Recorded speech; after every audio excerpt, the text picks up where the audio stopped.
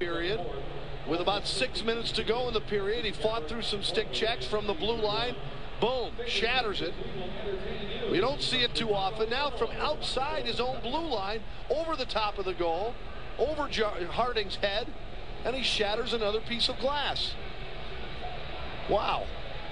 One to nothing, the Wild have a first period lead over the Calgary Flames here at the Pengrowth Saddledome.